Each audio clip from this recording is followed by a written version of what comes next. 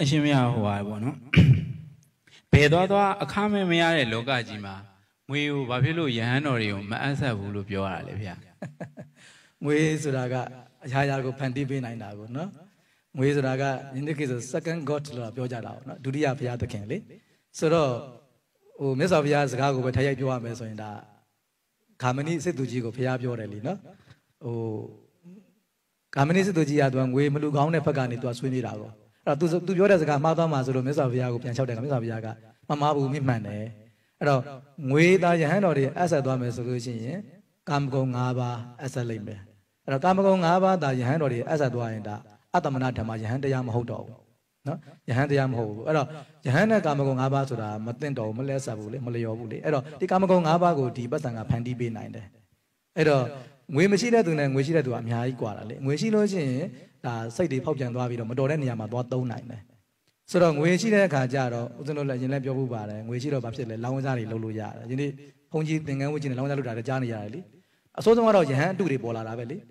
ဟိုတနော်ဟိုတနေ့ရအောင်ကျွန်တော်တခါတယောက်တောင်လာမေးသေးတယ်ပေါ့ဟိုယဟန်အတုတွေအရန်ပေါ်နေတယ်ပေါ့နော်ကားဂိတ်တွေမှာလမ်းဆောင်လမ်းခွတွေမှာပတ်စံတွေအလူခန်းတွေကြတာယဟန်အတုတွေများတယ်ဆိုတော့အဲ့တော့ပတ်စံလူခံလို့ရတဲ့ delay မြန်မာနိုင်ငံမှာရှိနေတဲ့အတွက်ကြောင့်အဆောင်စားတဲ့ပုံကိုယ်တွေပေါ်လာတယ်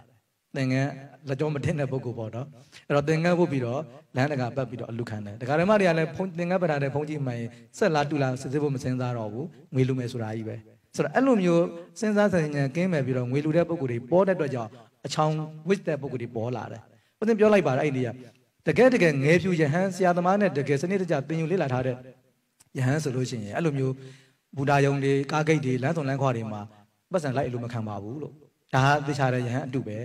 နော်ယဟန်အစ်စ်ဖြစ်ခိုင်တော့မှတကယ်ဆရာကောင်းသမားကောင်းစီမှာဝတ်တဲ့ပုဂ္ဂိုလ်မဟုတ်နိုင်ဘူးပေါ့နော်တကယ်ယဟန်အစ်စ်မှအဲ့လိုမျိုးလမ်းစုံလမ်းခွတွေမှာပတ်စံလူခံတဲ့ပုဂ္ဂိုလ်မလုပ်ပါဘူးတရားဓမ္မတွေဒါသိထားတင်တာဒါကြောင့်ဦးဇင်းတို့ပတ်စံမလူနဲ့ပစ္စည်းလေးပါလူတချို့ဦးဇင်းတို့ပြောတယ်အားတဲ့ဟိုဈေးထဲမှာပေါ့နော်ဟိုဖက်နဲ့ပြတ်သွားတယ်ဆိုပြီးတော့ပတ်စံလာတောင်းကြတယ်ဗောတခါကြီးတို့တခါမကြီးတို့ကိုရင်ဖက်နဲ့ပြတ်သွားလို့ပါဦးဇင်းဖက်နဲ့ပြတ်သွားလို့ပါဖက်နဲ့ဘိုးလေးလူပါအောင်ဆိုတော့သူကဟိုသူ့လည်းဖက်နဲ့ဘိုးလိုက်လူကန်ဒီသူ့လည်းဖက်နဲ့ဘိုးဈေးတစ်စုံလည်းနှက်နေပြီးတော့ဖက်နဲ့ဘိုးကလည်းမပြီးနိုင်တော့ဘူးသူဖက်နဲ့ဘိုးက ဆိုဦးဇင်းအကြံပေးတယ်တကယ်သူဖက်နဲ့ပြတ်ဖက်နဲ့လိုချင်တယ်ဆိုရင်ဖက်နဲ့ကပ်ဝယ်ပေးလိုက်ဖက်နဲ့ကပ်ပြီးပေးလိုက်သူ့ဆိုင်နဲ့တန်တဲ့ဖက်နဲ့ကိုပေးလိုက်အဲ့တော့တကယ်ဖက်နဲ့လိုချင်တဲ့ပုဂ္ဂိုလ်ကဖက်နဲ့ရရင်ကျင်းတဲ့ငွေမလိုချင်ဘူးဟုတ်နော်အဲ့တော့ဆုံးဖုံးပေးရတဲ့ပုဂ္ဂိုလ်ဆုံးဖုံးလေးလူပါအောင်ပြောရင်ဆုံးဖုံးမလူနဲ့ဆုံးကတ်လိုက်ဦးဇင်းပြောတာဆုံးကတ်လိုက်ဖက်နဲ့လူပေးလိုက်အဲ့ပတ်စံတကယ်လိုချင်တဲ့ပုဂ္ဂိုလ်ကမဟုတ်ဘူးသူကပတ်စံရအောင်တောင်းလိုက်မယ်သူကဟာဦးစင်ဦးစင်ကိုယ့်ကိုဝယ်လိုက်မယ်လို့ပြောလိုက်မယ်သူကနော်အဲ့တော့ဦးစင်ကိုယ့်ကိုဝယ်စားလိုက်မယ်ကိုယ့်ကိုဝယ်လိုက်မယ်လို့ပြောလိုက်မယ်ဘာလို့သူပတ်စံလိုချင်တာလေဖက်နဲ့လိုချင်တာမဟုတ်တာ အဲ့တော့ဦးစင်အကြောင်းအဲ့လိုယဟန်အတုတွေပပြောက်ဖို့အတွက်ကဒကာဓမ္မတွေစဉ်းစားတင်တယ်လေဒါကြောင့်ဦးစင်တို့အဲ့လိုလမ်းဆောင်လမ်းခွာတွေဈေးတွေမှာလိုက်အလူခံနေတဲ့ဟာမျိုးကိုဦးစင်တို့အာမပေးတင်ဘူးဘာလို့အစ်စ်ထက်အတုများတယ်အဲ့ဒါတွေကဒါကြောင့်တကယ်ဖြစ်တကယ်ဒုက္ခရောက်နေတယ်ဆိုလို့ရှိရင်လည်းခုနဆုံးကပ်ပေးလိုက်ပါဖက်နဲ့လှူပေးလိုက်ပါဟုတ်လားအဲ့ဒါမျိုးပေါ့အဲ့တော့တကယ်ပတ်စံလိုချင်တဲ့ပုံကိုကြတာမဟုတ်ဘူးအဲ့ဒီဖက်နဲ့ကိုတမင်တကာဖြတ်တယ်ကိုနေရအလူခံဒီနေရအလူခံတော့ဒကာဓမ္မတွေကအဲ့ဒါဦးဇင်းတို့ဒီနေ့မနေ့တောင်တရားဟောခဲ့သေးတယ်ပညာဗုဒ္ဓဘာသာဝင်တွေအားနည်းနေတာ အဲ့တော့တတ္တာဗုဒ္ဓဘာသာဝင်တွေအားကောင်းတဲ့ခါကျတော့အတုတွေကလည်းထကြွလာတာပေါ့နော်အဲကြောင့်တို့ပတ်စံရှိတော့ခုနနောက်ဆုံးခုနသာသနာဖြတ်တဲ့ပုံကိုယ်တွေသာသနာအတုယဟန်တုတွေပေါ်လာတယ်နော်ဒါတာရကတစ်ခုပြောပြတာလေပတ်စံရဲ့အန်ဒရယ်ပြောပြတာလေပတ်စံကြောင့်ယဟန်တုတွေပေါ်လာတယ်နော်အဲ့တော့ငွေလိုချင်လို့စီးပွားရေးလောက်လာတယ်နော်အဲ့လိုမျိုးဖြစ်လာတယ်အဲ့တော့ဦးဇင်းတို့အရာရာမှာဦးဇင်းတို့နောက်ဆုံးဘယ်လောက်တောင်ဖြစ်လာလဲဆိုပြပြမယ်ဆိုရင်ဦးဇင်းတို့ဟိုတချို့ကြားတာရှိတယ်ဗောလေ တချို့ဓမ္မဂရိကတွေဆိုလို့ရှိရင်လည်းတရားဟောတယ်ဓမ္မပူဇာနဲလို့မဟောဘူးဆိုတာမျိုးတွေဖြစ်ကြသေးတယ်နောက်ခေါ်ဘကပုဂ္ဂိုလ်နဲ့ဓမ္မဂရိကနဲ့ရံပြတဲ့ဇလန်းတွေကြားရတယ်ဟုတ်တော့ဓမ္မပူဇာပြဿနာတွေငွေပြဿနာတွေလေဆိုတော့မဖြစ်တဲ့ကိစ္စတွေလေအဲ့တော့ခေါ်ဘကကဓမ္မပူဇာအကုန်မပေးလို့ဓမ္မဂရိကနဲ့ရံပြတဲ့ဇလန်းတွေဆိုတော့ဒါတွေအားလုံးကငွေကိုအခြေခံပြီးတော့ယဟန်တစ်ပါးအနေနဲ့မဖြစ်တဲ့ပြဿနာတွေဖြစ်လာတာပဲနော်အဲကြောင့်ကျွန်တော်ကမြတ်စွာဘုရားက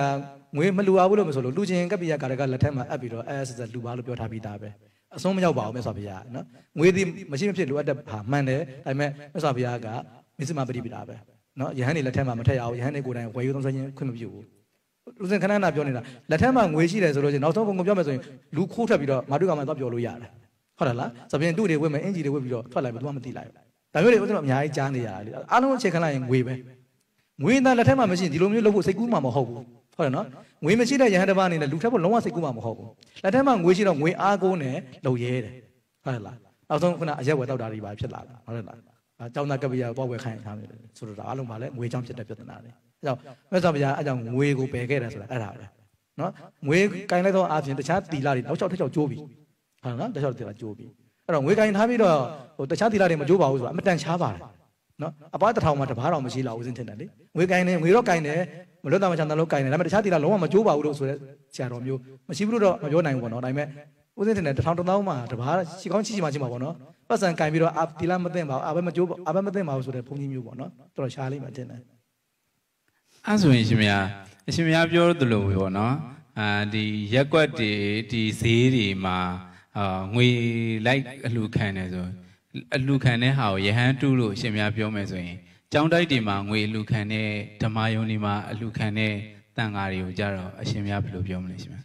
ဆိုတော့ဦးသိန်းပြောတာကငွေလူခံတဲ့ဘက်ကရဟန်းတူတူပြောတာမဟုတ်ဘူးနော်တကယ်အမှုကြီးအောင်မလုံးနဲ့တော့ဦးသိန်းပြောတာဖြစ်တတ်တဲ့သဘောပြောပြတာလေများသောအားဖြင့်ရေပုံရအားဖြင့်ဒီလမ်းမတွေကိုထွက်ပြီးအလူခံနေဆိုတာရဟန်းအစ်စ်တွေမလုံးတဲ့လုပ်ငန်းတစ်ခုလို့ပြောပြတာလေ ငွေလူခံရင်ရဟန်းအတူတူပြောတာတော့မဟုတ်ဘူးနော်ဖြစ်တတ်တဲ့သဘောတစ်ခုပြောပြတာလေအဲ့တော့ဒီလိုလမ်းမတွေကိုထွက်လူခံနေဆိုများသောအားဖြင့်တန်ခါအစ်စ်တွေရဟန်းအစ်စ်တွေဟာဒီလိုမျိုးမလုံးတတ်ဘူးဆိုတော့ပြောပြတာလေအဲ့ဒါပြောပြတာသူကသူအင်ဂျင်နီယာရအကြောင်းမှလာလို့ရတော့လက်ခံတာတော့ရှိမှာပဲလေဒါတော့ဟုတ်လားဆယ်တော်ကြီးတွေလည်းလက်ခံကြတာရှိတာอืมဒါဆိုရင်ရှင်မယားဟိုဟိုငွေကိုကိုက အာယဟန်ကမတုံးကောင်းဆိုရင်တကယ်လို့ကျောင်းတိုက်အတွက်တော်၎င်းဓမ္မယုံအတွက်တော်၎င်းအဲ့ကျောင်းကျောင်းတိုက်ကတခုခုပစ္စည်းပဲဖြစ်ဖြစ်ပေါ့နော်အဲ့အတွက်ကိုအလူခံနေဆိုရင်ရောအဲ့ရလားမသိဘူးအဲဒီလိုရှိတယ်အဲ့ဒါကလေအဲလူခံတဲ့နေရာမှာကျွန်တော်နှစ်ပိုင်းရှိတယ်ဟိုပုဂ္ဂလိကအလူခံတယ်ဆိုလို့ရှိရင်ကျွန်တော်နေတကိအာဖက်လို့ခေါ်တယ်လေကိုယ့်အတွက်ငွေလာလူတယ်ဆိုရင်လက်မခံရဘူးလက်ခံလိုက်လို့ရှိရင်အဲ့ဒီငွေတွေနေတကိဖြစ်သွားတယ်ဆွန့်ရမယ်အကိတောင်းအတွက်လာလူတယ်ပေါ့ ဦးရှင်မရကိုဓမ္မယောအတွက်ဝိတ္ထုငွေလူပါတယ်လို့လူတယ်အဲ့တော့ဘုန်းကြီးလက်မခံကောင်းပါဘူးလက်ခံရင်အာဘက်တဲ့ဒါပေမဲ့နေတကိတော့မထိုက်ဘူးနော်နေတကိမထိုက်ဘူးတော့ပုဂ္ဂိုလ်ကိုလူမှတာနေတကိထိုက်တာကျောင်းအတွက်လူပါတယ်ဖေဟာဓမ္မယုံအတွက်လူပါတယ်ဖေဟာဆိုလို့ရှိရင်ဒီငွေဒီဘုန်းကြီးကိုလူတဲ့ငွေမဟုတ်ဘူးကျောင်းကိုလူတာအဲ့တော့ကျောင်းဒီအလူခံပုဂ္ဂိုလ်ဘောလားမသိဘူးအဲ့တော့